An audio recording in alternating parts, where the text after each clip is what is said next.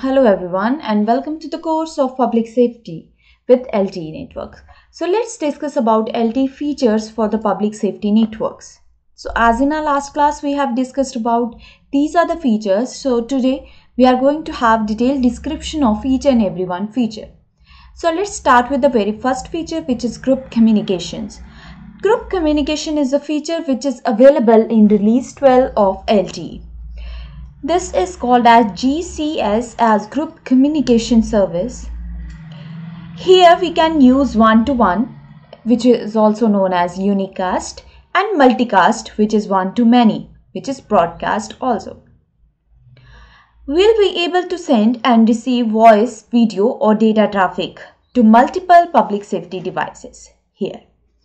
So release 14 has added a single cell point to multi-point transmission as well. Now the broadcast mode, that means from one end to many.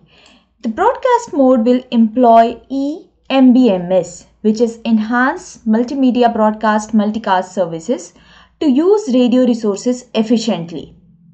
But if the coverage is low, that means if we are having low coverage area, a unicast approach will deliver data more reliably.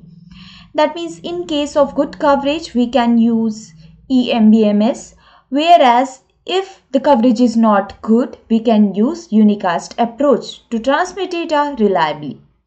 The system will be able to dynamically switch between the unicast and the broadcast mode. So this is the group communication feature of public safety network.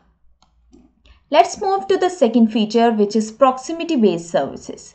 Proximity based services we also call it as ProSe. This feature is also defined in release 12.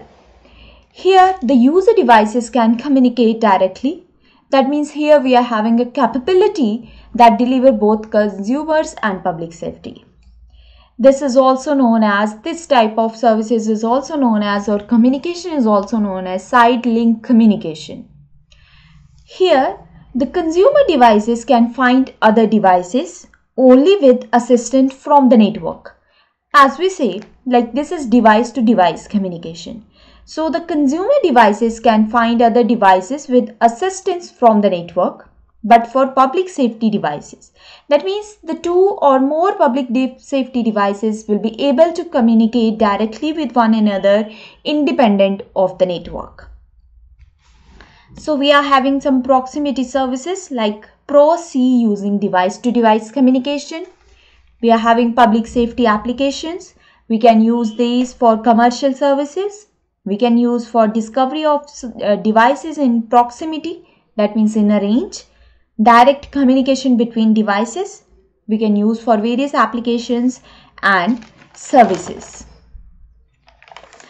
Here we can have like different services we can use in this feature like device to device communication, application, commercial services, in proximity, ProSe applications and services. The next one is mission critical push to talk. Now in this application, it provides one-to-one as we say this is defined in release 30 It provides one-to-one -one and one-to-many push-to-talk communication services. This feature is available in 2018 time frame here, the public safety organization will be able to consider retiring legacy voice-based systems. That means we are going, uh, we are not going to use the voice-based systems. Here we can have critical push-to-talk communication.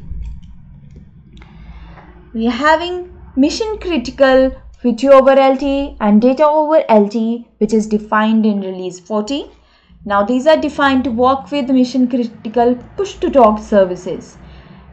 Here it can give the first responder more communication options while transmitting video over LTE network and data on LTE network. Then let's move to the prioritization.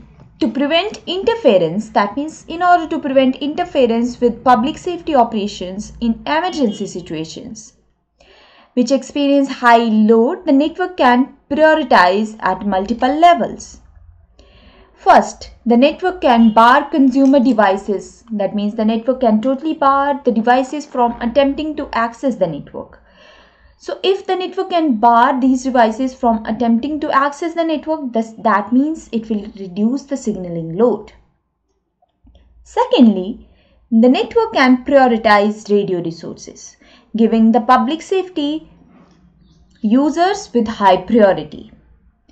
We are going to use a new capability which we call it as Multimedia Priority Service MPS here in Multimedia Priority Service, the network can prioritize a connection between emergency worker and a regular subscriber. The finally, which is the last, the network can assign specific quality of service parameter to the traffic flows, including GBR, which stands for Guaranteed Bit Rate. 3GPP has defined specific quality of service classes for public safety as well. High power, this is defined in release 11. It defines the high power devices for the public safety band that can operate in 1.25 watts. It improves the coverage and reduce the network deployment cost. Another feature. Next one as isolated operation. Isolated operation that means a base station can continue to offer services with the loss of backhaul. That means if there is not availability of backhaul network, a base station can continue to offer service because this is this could be used for the public safety network. So we can use this for disaster situations also. Now we are having relays. In release we can have it is defined in release 8